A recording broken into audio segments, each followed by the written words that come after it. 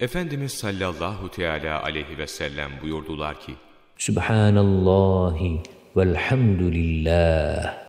Zikri, yerle gök arasını sevapla doldurur.